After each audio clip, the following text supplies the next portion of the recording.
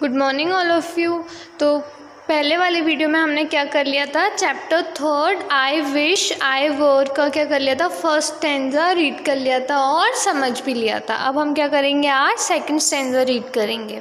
तो first stanza मैं आपको बता देती हूँ एक बार क्या था? फ़र्स्ट स्टेंजा में एक बच्चा है तो वो स्कूल जा रहा है। कितने बजे स्कूल जाता है? वो दस बजे स्कूल जाता है डेली अपनी गली से। और वो क्या किससे मिलता है? रोज़ एक हॉकर, यानी कि एक फेरी वाले से मिलता है, जो कि क्या बेच रहा होता है? बैंगल्स, यानी कि चूड़ियाँ बेच रहा होता है। और वो जब भी बच्चा उस गली से निकलता है तो बता रहा है कि मैं एक हॉकर, यानी कि फेरी वाले से मिलता हूँ, जो हमेशा ये रोता रहता है या ये बोलता रहता है कि चूड़ियाँ, क्रिस्टल, यानी कि कांच की चूड़ियाँ। वो बोलता है कि उसको कोई जल्दी नहीं है, किसी चीज़ की जल्दी नहीं है या फिर कोई ऐसा रोड नहीं है जहाँ उसे जाना चाहिए, कोई ऐसी जगह नहीं है जहाँ वो जाए, कोई उसका घर जाने का कोई फ़िक्स टाइम नहीं है। और वो बता रहा है कि I wish I were a hawker spending my day in road crying bangles crystal bangles आज मैं भी एक फेरी वाला होता और आराम से अपना पूरा दिन स्पेंड करता, पूरा दिन अपना रोड पे बिताता। क्या बोलते हुए? बैंगल्स क्रिस्टल बैंगल्स चूड़ियाँ, कांच की चूड़ियाँ। मतलब बच्चे को ये लग रहा है कि जो हॉकर है, उसका लाइफ बहुत सही है बच्चे की लाइफ से। क्यों? क्योंकि उसको कोई भी लिमिट नहीं है कि आपको इतने टाइम लिमिट में घर वापस आना है, या फिर इतनी बजे आप स्कूल जाओ, इतनी बजे आप वापस घर आओ, इतनी बजे आप खेलने जाओ, इतनी बजे आप खाना जा, खाओ तो इस चीज़ के लिए उसको कोई बाउंडेशन नहीं है। वो अपनी मर्ज़ी से घर जाता है, अपनी मर्ज़ी से आता है, जब पूरा दिन कहाँ स्पेंड करता है, वो रोड पे स्पेंड करता है अपना। तो इसलिए उसको हॉकर का लाइफ क्या लग रहा है अच्छा लग रहा है, वो सोच रहा है कि काश मैं भी एक हॉकर होता। हम आगे पढ़े, अब हम आगे पढ़े पढ़ेंगे when at four in the afternoon I come back from school I can see through the gate of that house the gardener digging the ground He does what he likes with his spade. He soils his clothes with the dust. Nobody takes him to task if he bakes in the sun or gets wet. I wish I were a gardener digging away at the garden with nobody to stop me from digging. अब क्या बोल रहा है बच्चा? When at four in the afternoon I come back from school जब दिन के चार बजते हैं तो मैं स्कूल से वापस आता हूँ। I can see through the gate of that house the gardener digging the ground मैं उस घर के गेट से देख सकता हूँ कि गार्डनर जो माली है, वो डिगिंग मतलब खोदना ग्राउंड खोद रहा है। He does what he likes with his spade he soil his clothes with the dust spade होता है कुदाल। मतलब वो वो बच्चा बोल रहा है कि जो गार्डनर है, जो माली है, वो वही करता है उसके स्पेड स्पेड के साथ जो उसको पसंद होता है। He soil his cloth with the dust वो पूरे अपने जो कपड़े हैं, वो किसी डस्ट से, मिट्टी से गंदे कर लेता है।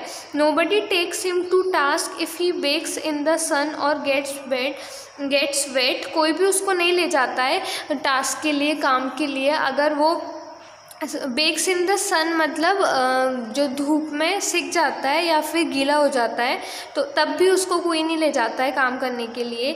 I wish I were a gardener digging away at the garden with nobody to stop me from digging बच्चा बोल रहा है, काश मैं भी गार्डनर होता, मैं भी एक माली होता जो कि गार्डन को डिग कर गार्डन में डिगिंग कर रहा होता, गड्ढा खोद रहा होता और मुझे कोई भी स्टॉप नहीं कर रहा होता उस टाइम डिगिंग करने से, खोदने से।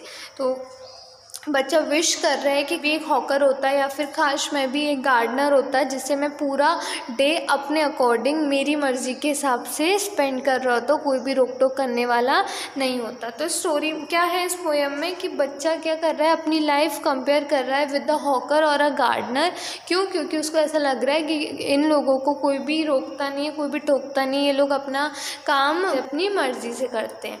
ये क्या बोल रहा है? बच्चा बोल रहा है, पर हमें पता है कि कितना मुश्किल मुश्किल होता है इन लोगों के लिए ऐसा काम करना। फेरी वालों के लिए भी पूरे दिन रोड पे चलना, धूप में उसी तरीके से माली के लिए भी पूरा काम करना, पूरे गार्डन की सफ़ाई रखना ग्रास की कटिंग करना, ये सब काफ़ी मुश्किल होता है और उनको ये ऑर्डर्स मिलते हैं, उनके हेड से ऑर्डर मिलते हैं। वो लोग अपनी मर्ज़ी से कर, मर्ज़ी से तो नहीं करते, पर अभी वो बच्चा है तो वो समझ जाए कि वो सब अपनी मर्ज़ी से करते और उनके पास कोई भी उन रोक टोक करने वाला नहीं होता है।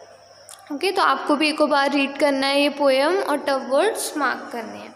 Now on page number thirty हम रीड आउट किया, उसको समझा आप क्या करेंगे हम question a multiple choice question choose the correct option multiple मैंने मतलब बताया था, आपको मल्टीपल मतलब बहुत सारे तो क्या है आपके पास यहाँ पे बहुत सारे ऑप्शन हैं, और आपको उनमें से कोई एक चूज़ करना है, जो कि क्या हो करेक्ट हो, यानी कि सही हो। तो फ़र्स्ट है the child goes to school at जो बच्चा था वो कितने बजे स्कूल जाता है? Seven forty five A M सुबह के सात पैंतालीस पे, टेन ए एम दस बजे, एट टेन या फिर टेन फिफ्टीन ए एम कितने बजे जाता है वो? Ten A M next the man who sells the crystal bangles in the poem is a poem में जो क्रिस्टल बैंगल्स बेच रहा है, वो आदमी कौन है? वेंडर यानी कि दुका, एक छोटा दुकानदार ग्रॉसर यानी कि चाय चीनी बेचने वाला हॉकर यानी कि फेरी वाला और सेल्समैन मतलब दुकान पर सामान बेचने वाला। तो कौन है वो? एक फेरी वाला। तो the C one is correct then at four o'clock the child returns from the चार बजे बच्चा कहाँ से आता है वापस? मार्केट से स्कूल से गार्डन से या फिर रूम से? कहाँ से वापस आता है वो चार बजे लौट के स्कूल से? The B option is correct then the word that means to make dirty is lane soils digging task तो लेन मतलब क्या होता है? गली सॉइल्स मतलब एक सॉइल मतलब होता है मिट्टी और सॉइल्स मतलब होता है गंदा करना। डिगिंग मतलब खोदना टास्क मतलब कोई टास्क जो आपको दिया जाता है काम करने के लिए। तो मेक डर्टी गंदा करने का मतलब क्या होगा? सॉइल्स तो B option is correct next the child does not want anyone to stop him from बच्चा क्या चाहता था कि उसको कोई क्या करने से नहीं रोके? गोइंग जाने से क्राइंग रोने के लिए डिगिंग खोदने के लिए रनिंग दौड़ने के लिए। तो बच्चा क्या चाहता था कि काश मैं भी एक हम्म, बच्चा क्या चाहता था कि मैं भी एक क्या होता गार्डनर होता और मुझे कोई भी नहीं रोक रहा होता किससे? डिगिंग करने से। तो the C option is correct okay तो and the question answer will do in the next video तब तक के लिए आपको ये फिल करना है in the book thank you